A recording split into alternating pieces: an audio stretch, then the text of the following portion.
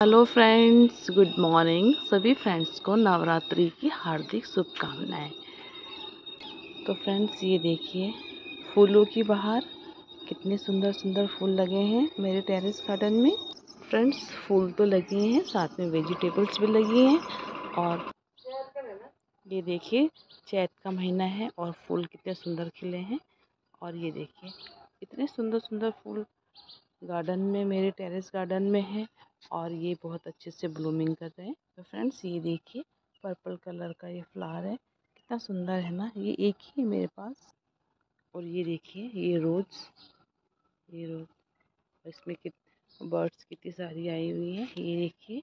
और इसमें देखो, मैंने कितने सारे, एक ही गमले में कितने सारे पौधे लगाए हैं।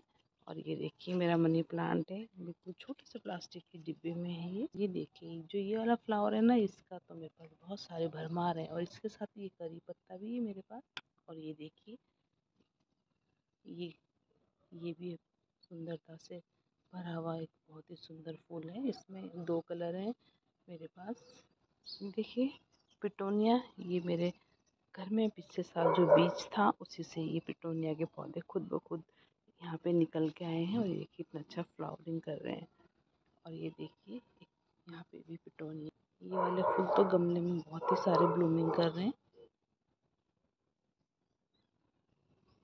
ये देखिए इंडोर प्लांट्स और ये हल्की सी धूप और छाँव में मैंने यहाँ पे रखा हुआ है। और ये देखिए कितने अच्छे फूल खिल रहे हैं, बहुत ही सुंदर बहुत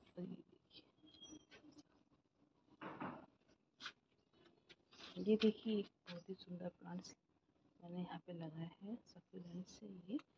तो ये जब हो जाएगा तो मैं तुम्हें ज़रूर दिखाऊँगी और ये देखिए ये देखिए। एक ये देखिए, इस गमले में यहाँ पे लगाया हुआ है ये। फ्रेंड्स, ये पिटोनिया है, ये पिटोनिया अभी ख़त्म होने वाला है, यानी कि अब इसमें फूल खिलना बहुत ही कम हो गया है।